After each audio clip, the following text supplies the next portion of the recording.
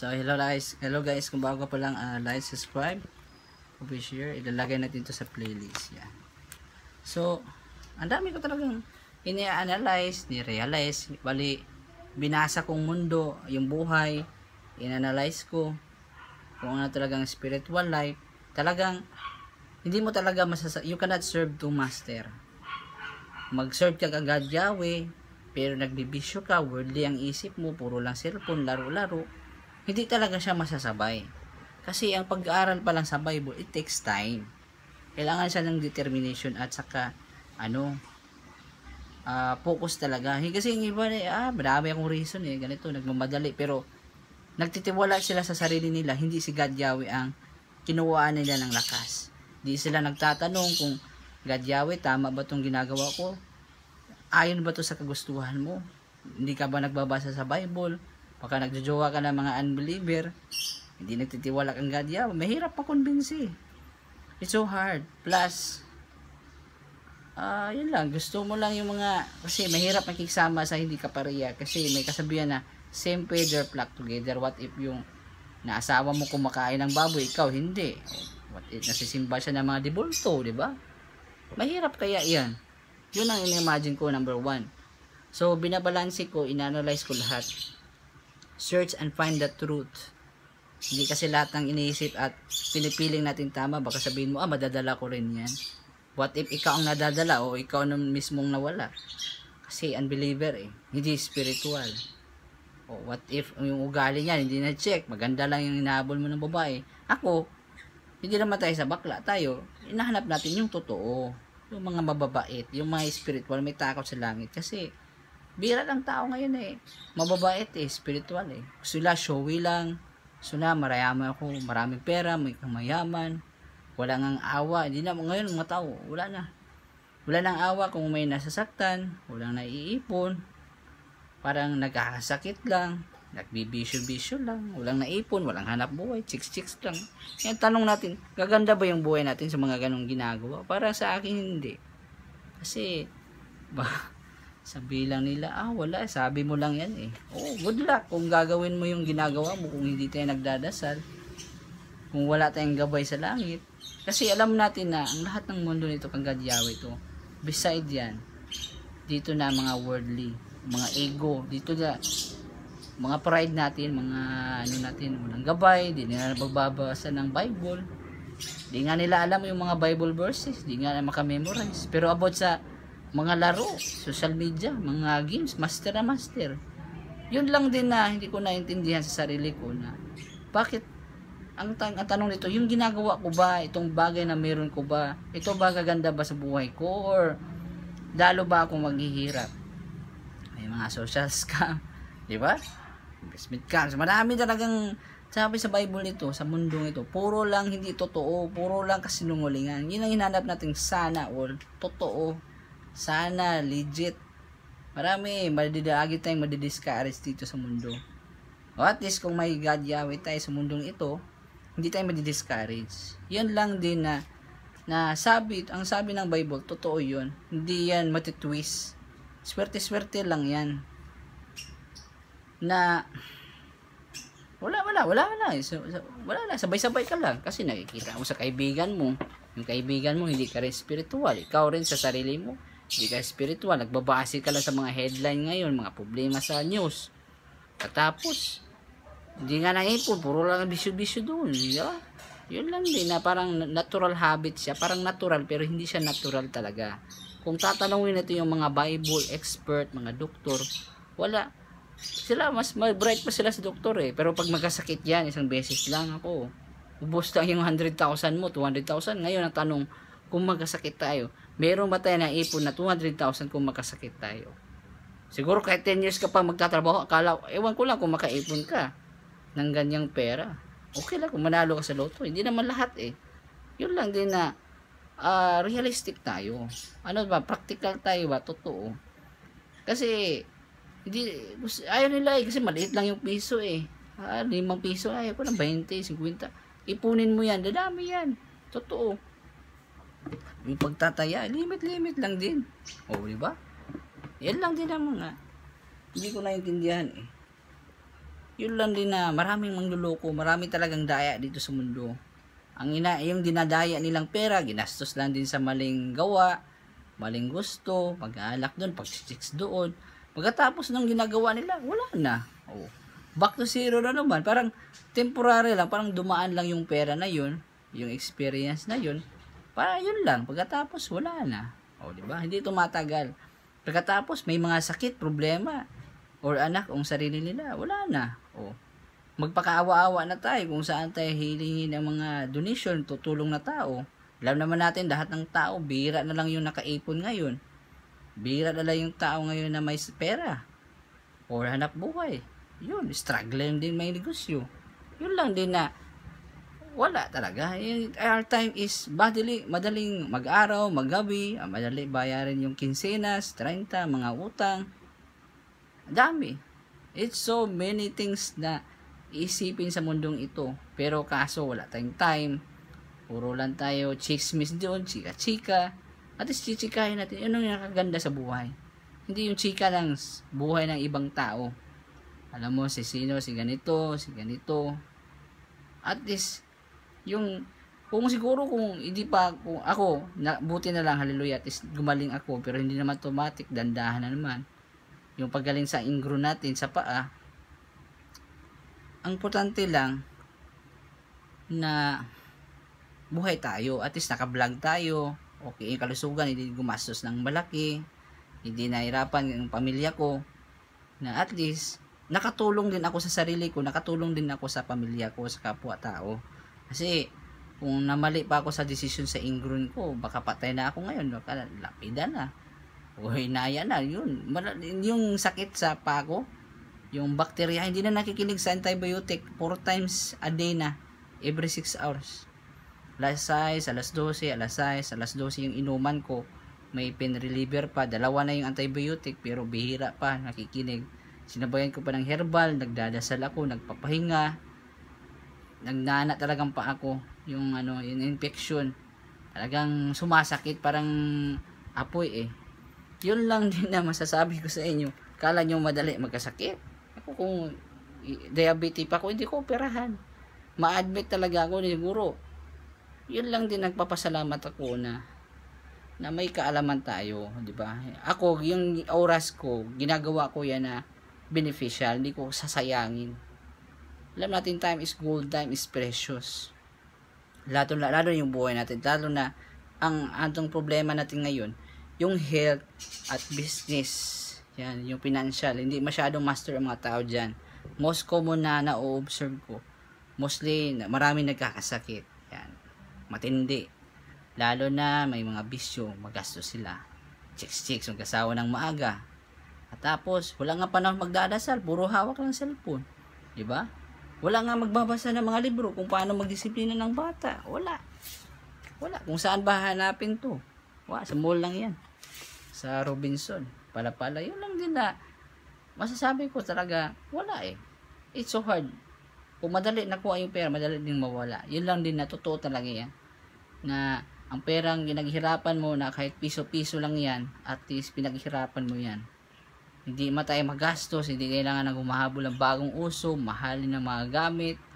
Kasi wala naman kang mapapala dyan, masisira lang naman yan. Pagkatapos, yung health, at lalo na yung business, importante yung business. Uh, anong klaseng business, diba? Pagkain ba? Or mga bagay? Siyempre, ito na problem tayo araw-araw dito sa mga bayarin sa buwan-buwan. Sa pagkain, sa tubig at kurente. Dito sa Pilipinas, yung trabaho natin dito, pangbayad lang dyan.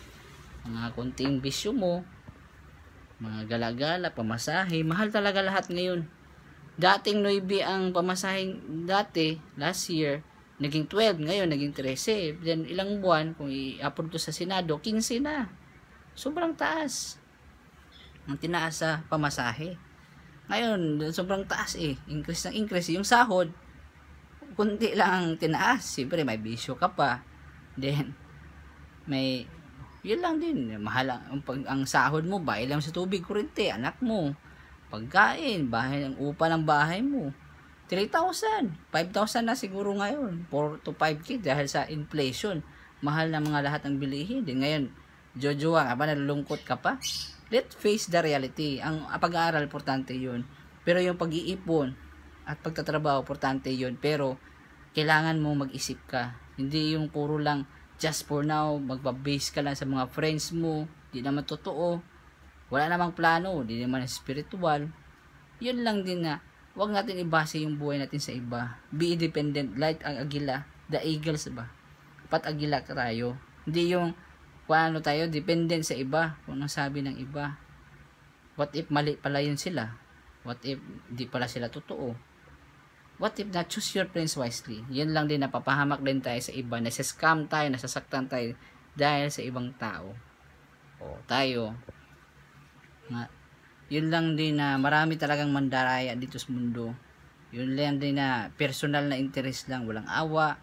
Hindi rin sila naawa, nagpakaawa sila, din di naman sila naawa sa sarili nila. Yun lang din na vice versa na ang buhay ay ligtas ang may alam. Hindi tayo alam Puro lang nasusunod ka lang sa mga uso-uso ngayon. Di ba natin na-realize na tama ba to? O baka nakiuso ka lang, mali lang naman ang mga uso na yun. Nagkakabita na sa TV. Yan lang din. Then, pride na proud ka. Sundin mo rin. Lagi mo napapanood, lagi mo naririnig, lagi mo nakikita. Hindi mo na mamalayan na nasusunod na mo, na mo pala. Nagagaya mo na yung napanood mo. What if mga dasal lang, mga worship? Wala eh. Yan din, mga worldly song lang din eh. Yan lang din na naisip ko talaga na parang parang may parang hindi may parang may hindi tama. Parang yan lang din na we are counted by this time. Ang mahirap na ngayon ang makabayad ka ng tubig. Magbili ka ng solar, mahal. Pahirapan talaga, tubig, mahal. Pagkain, upa, yan ang apat na yan kulang pa yung trabaho mo para i-provide mo dyan araw-araw. Ngayon may bisyo ka pa, taling-tali ka na, may anak ka pag sa di ka pa marunong magdisiplina. May bisyo. Yan, may mga sugal. Yun lang din na masasabi ko. Puro kain lang, di ba? Mga kain na unhealthy foods, nagmamadali. Sakit, walang naipon. Ang, ang tapos. Yun lang din na puro galit, stress. Hindi ko sinasabing perfect ako. Pero masasabi ko po sa inyo, wala tayong time. Kahit sa luto nga eh, nag-iingat nga ako eh, na baka matrap tayo, ano ba talagang tagal dito? Ano survival ba ito o hindi? Kahit tayo, talagang ano lang, nagkuku, nag, nagmamasakali lang tayo dito sa lahat-lahat ng bagay. Wala tayong sinasabing perfect ng buhay, perfect na talaga lahat ang kahit buhay natin at kalusugan din natin masasabi. Yung ingron ko nga hindi ko masasabi, hindi nilinisan ko naman yung pako eh. Kuko ko nililinis yan. Pero actually natamaan pa ng infection. Naligo tayo, hindi ko na alam dahil busy tayo. Yun lang din na medyo something na kailangan natin na ano naiyak nga ako eh, nagdadasal ba ako, bakit ba ito pang nangyari sa akin? Siyempre, nagpatulong ako sa langit, ano bang dapat ko gagawin? Maganda talaga na everyday, yung ginagawa natin, magpatulong tayo sa langit. Kasi, hindi lahat ng takot, hindi natin kaya itong mundo nito sa sarili lang natin. There's a power behind this. Yun lang din na mag-ingat sa mga tao, sa perang meron ka, sa ginagawa mo araw-araw, sa iniisip mo. Trust, nasa sa Bible na uh, Proverbs 6 verse 5 trust God Yahweh with all your heart with all your source, resources and everything you have. Magtiwala tayo kang God Yahweh di ba? The true God of Elohim of Israel. Di ba? Ang Diyos ng Israel si yeah, Abba Yahweh. Okay? At saka yung anak niya si Rabbi Yeshua tagapagligtas. Yun lang din na mga tao ngayon kahit believer puro cellphone lang walang panahon nasasayang lang yung oras natin, nabibisi tayo sa school. Then, gastos ng gastos. Dapat talagang training talaga to. Itong ngayon nangyari dito sa mundo natin dito ngayon, training lang to. Pagsasanay lang to sa pagdating ng coming times. Siyempre, there's a, para tong exam ang buhay eh. May exam, may mga test paper to eh. Kanya-kanya tong mga diskarte, eh, pagdadasal, paano mato malusutan o lampasan ang mga problema dito kasi araw-araw may problem talaga. Araw-araw may mga challenges. Araw-araw talagang may mga hindi mo inaasahan. Expect the unexpected. May mga bagay talagang hindi mo masasabi. Yun bakit ano man dahilan nagbibili ako ng mga libro, mga dictionary, kasi may mga bagay tayong hindi alam. Hindi yan nag, nagmamayabang. Kasi kung hindi tayo Boy Scout, kung hindi tayo nagre-ready, wala din din. Kung alam natin, kung hindi natin ginagawa o ina-apply, wala din siya. Yun lang din na try and try until you succeed. Hindi try and try until you die. Hindi ganun. Be positive tayo magtiwala sa sarili. Kasi ngayon, hindi, hindi tayo competent sa trabaho eh. Parang alanganin, hindi nagtitiwala sa sarili. Malalaman naman yan eh kung confident ka o hindi kung tiwala ba sa sarili, alam mo yung ginagawa mo, seryoso ka. At may, may iba nagtatrabaho nga, may sahod, pero mali naman ginagastusan. Wala ding gabay, wala ding guidance. Yun lang din nahirapan sila. Kung magkakasakit din sila, walang panahon. Po, bakit walang panahon? Puro cellphone lang. Pagka umaga, pagka gabi. Anong sabi ni asawa ni Crash? Diba? Hindi naman sinasabing masama ang mag-asawa mo, Crash. The right person. Yun yun lang din na napakahirap talaga ngayon ang sitwasyon. Madali lang siya sabihin. Pero pag try ka mag-asawa ngayon, try mo. So, yung sinasabi ko, mangyayari talaga yan. Oh, magmamotor ka, yun. Yun lang din, there's lots of cons uh, consequences ang pwede mangyayari. Tawag nun, probabilities. Ganito, ganito, yung buhay, dami talaga. Yeah. Marami tayong hinihiling, marami tayong dinadasal, marami tayong ginagawa pero kung hindi natin gagawin yung alam natin, wala lang din. Oo, alam ko nga, bawal ang soft drinks. Inom lang ko, minsan-minsan lang eh. Hindi na ba tayo naawa sa ating kalusugan in the coming times, in the future? Ah, kainan ako na lahat ng masarap. ba? Diba? Hindi na papagalitan, hindi na sasabi. Parang ang tingan, kati-kati, allergic sa sinasabi ko. Totoo ba yung sinasabi mo yun? Pwede naman kumakain ng karne, isda lang, at wag lagi-lagi. Kung kukain ka naman ng mga karne, mga soft drinks, chicheria, Oo, puro lang masarap sa dila eh. Wala silang panahon. Hindi nila alam. Din bulag one day isang araw mabulaga ka na lang. Ito na palang nangyari sa akin. Ako sa ingrong ko akala ko mamatay na ako eh. Biglaan talaga. Yung ano ko sa paa, akala ko mamamatay na talaga ako. Umiyak talaga ako. Kung God Yahweh, totoo ba tong sinisimba ko? Totoo ba? Kung totoo ka, galingin mo ako. Maawa ka naman. Gusto ko mabuhay. Siyempre, unexpected eh. Yung gamot ko hindi nalaga na, na nakikinig talaga ang gamot sa doktor. Eh. Sanabayan ko din sa herbal. Pinagalitan ako bagong opera. Bubili ako sa tindahan ko. Bahala na. O Gadyawi, ikaw nang bahala sa akin. Oo. Nagpa-jikas ako. Nanginang tulong sa ate ko na isa. Salamat din te. Yun lang din kung nanonood ka ngayon. Pasalamat din ako na ate, hallelujah. Sinabayan kong herbal at saka gamot sa doktor. Santon Plus Gold naman yun, okay naman yun. Pero nagdadasal din ako na ang buhay ko, hindi ito buhay ko, hiniram ko lang to. At least kung buhayin mo ko, isi-serve ko tong buhay ko para sa iyo. Gamitin mo lang akong instrumento, yung ganun. Instrumento lang tayo. Wala tayo dito, dito sa mundo nito, para nating bisita. At nakihiram lang tayo. Siyempre, mabuhay tayo, gagawa tayo, pero maging matalino at wais tayo. Masipag at wais. Kasi pwede tayo madadala sa iba o madadaya sa iba o madadaya sa sarili nating isip. Yun lang din na kailangan talaga ang pagdadasal araw-araw. Hindi natin kaya itong mundo na to kung tayo lang sa sarili nating lakas, isip. Sabihin ko, ako to eh, ganito eh. Ako eh, sa akin to lahat eh, ganito. Yung mga mi-mi-mi, sarili lang iniisip mo, yun ang kasalanan. Makasarili. Hindi, alam naman natin na ang lahat ng dito sa mundo hindi to atin bisita lang tayo na pinahiram lang. Yun lang din na may tabernacles tayo na paalala natin na bisita lang tayo. At least na mag-aaral magsisimba. Pero yun lang din na parang sobra tayong love dito love natin ng mundo. Pero yung love na ito hindi talaga sa sustainable.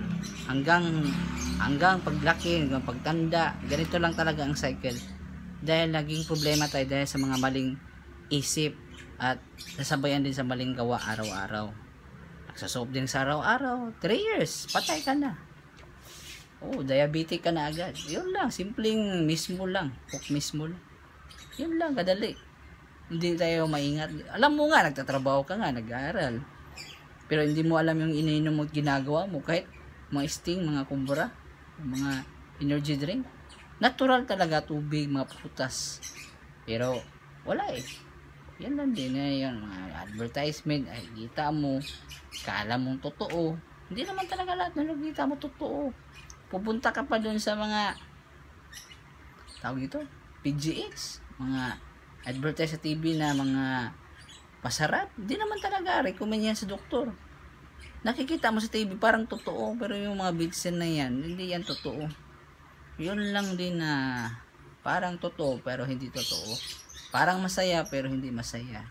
Yun lang na napakasakit na katotohanan. Parang masaya pero hindi talaga masaya. Yun lang din. Sayang-saya mo sa laro. Yeah. Yun lang din na marami nababaliw sa laro. Yung ano tawag, addiction sa games. Dami talaga. Pero itong mundo na ito, yung buhay ito, para itong naka sa isla, na malaki kaliit. Ang daming sharks sa paligid mo. Kailangan mo i-overcome yun. Ang mga problems na yan. Siyempre, mga scammer, problem, financial mo, mga daily needs pa lang natin, problema na to eh, na makakain tayo araw-araw, may bayad kada araw-araw, kada buwan, kada kinsinas, bayad mo sa utang, ba mga gusto mo, hindi talaga siya makukuha ng dire-diretso. It takes time talaga, pero kailangan natin na pagdasal, mga gemstone, yan, mga praises, worship, mga worship, wala na eh. Pagplano, pagdarasal, paghingi ng gabay, gagawin ang tamang gagawin, wala eh. We are happy in our own in our, nag-expect tayo na magandang buhay pero ang ginagawa natin is mali. How can we expect na maganda ang buhay natin kung ang ginagawa natin puro kalukuhan, pagbibisyo, chicks chicks ton, pagalagala, ubusin yung pera. Yeah, paano ba tayo yumaman doon kung ganda ang kalusugan at magkaroon ng negosyo? Hindi nga nagpaplano. Nahirapan na sa school pa lang at trabaho. Oh, mahirap din ang negosyo. Parang matindi din yan. Yun lang din na wala tayong time. Hindi natin inaral yung trabaho natin. Nahirapan tayo pumasok sa trabaho. Totoo yan. Wala. Patayan talaga. Kung magtrabaho ka naman, patayang trabaho, mababang sahod kulang pa sa pagkain mo. Parang nagtatrabaho ka nga pero walang wala. Totoo yan. I admit it. Totoo talaga yung mga ganun na kasabihan. Nagtatrabaho ka nga hanggang makakain ka lang. Yun lang talagang totoo. Hindi ko yan sinisiraan. It's true. O, sabi naman natin dati na wala akong trabaho. Sana may trabaho ako. Totoo talaga, mahirap talaga. May trabaho wala, pareha lang. Okay? May mag-OFW ka pa pareha. Ang nagpapahirap dito yung ugali natin at hindi spiritual. Hindi nagbabasa ng libro, wala. Hindi, wala nang panahon magbasa ng libro eh. Pag isang basa pa lang, tamaran ka na eh. Wala, bira na magbabasa ngayon. Hindi nila alam na doon ang magkalaman. Kahit magdadasal. Pero ngayon, marami na naghawak ng cellphone. Pag sisimba pa lang, hawak ng hawak eh. Hindi ka makakontrol. Ako, pag nagsimba ako, wala akong internet, social media, wala. Focus talaga, dasal, pagtulong, pag ano, wala eh yun lang din na hindi makakontrol sa sarili. Update lang update doon galaw doon di ba? Pakita pabungga doon. How much more? How can? Paano ba mag-i-improve ang buhay natin kung ang ginagawa natin para kang ganito? Paano ka mag makaani kung wala kang tinatanim? Sa po paano ka maging masaya kung ang ginagawa mo hindi talaga masaya? O bibisyo-bisyo ka kala mo gaganda yung kalusugan mo hindi ka magkasakit. O, o yun lang din na bago pa nangyaring problema, sipin na natin. Wala talagang perfect situation pero pwede natin mapabuti ang buhay. Kasama pagdasal-dasal, pagsisipag, pag-live simple. Huwag magastos, magsipag, at mag-ipon at magplano ng negosyo para makasurvive. Yun lang din na naging empleyado lang tayo, yun ang dahilan naghihirap tayo. Walang sabi pa sa mga Chinese, walang yung mayaman na empleyado hanggang kain lang yan. Ang yumayaman negosyante yung may-ari ng negosyo. Yun lang din na problema sa kanila. Kanila sabi ng nanay anong gusto mo paglaki mo? Gusto ko mag-graduate para paglaki ko magtrabaho lang ka. Playado lang ka. Tawag nyo slave lang yan. Hindi talaga yan pang mayaman. Kasi nabayan pa sa ating mga maling gawa maling gawain bisyo hindi pa nag-iipon at di pa nagdadasal, yan na lang naghihirap tayo. Nagsawa pa ng maga. O, skandal lang iniisip. O, yan lang din. Di makatiis. Gusto nila, ngayon-ngayon na. Oh, tingnan natin. Maraming taong ganun at marami at dadami at dadami pa. At lalong hihirap at dadami ang mga hihirap. Oh, ayan na, ngayon luto niya, Spirit Race, 3 digit, dami na sumali. yung live stream nila, 12,000 na tao. Umaasa sa loto sa YouTube. Oh, marami kaya. Nako. Yun ang totoo lang talaga masasabi ko na this life, daming problem talaga. Pero yung problem na to makakaya natin sa magdasal at sipag at sa pag-isip. So, like, subscribe, comment, share. Peace. Love you all. Salamat po. Salamat sa papanood. At ito ang mga secret ko na sinasabi. Thank you po. Sana uh, to ha, dito sayang yung oras nyo. Itong sinasabi ko, totoo to. 1,000 to 1 million percent. Okay? Hindi tayo exaggerated. Itong mga sinasabi ko, totoo lang to. Okay? Walang hayo, halong daya. Sorry. Thank you po.